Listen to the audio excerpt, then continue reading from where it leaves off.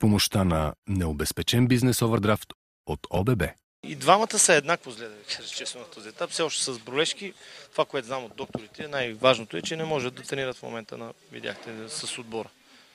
Евентуално, така има още около 48 часа до мача, в които ще направят всичко възможно да бъдат възстановени и двамата. Вече кой колко ще се прецени непосредствено преди срещата. Какви са вариантите тогава в атака, ако случайно те нямат възможност да излезат? Има доста варианти. Опитахме днеска така няколко варианта, не толкова като тактика, просто като тренировка.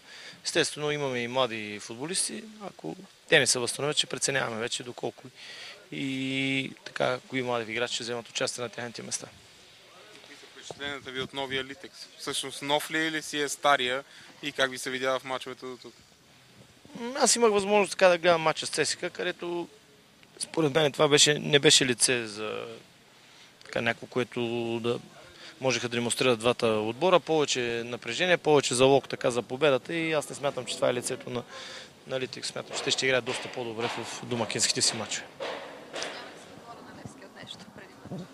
И толкова време напознавате, не вярвам да сте чули някога да се притесняваме от нещо. Така че другите може да се притесняват от нас. Най-важният ви матч за този полусезон?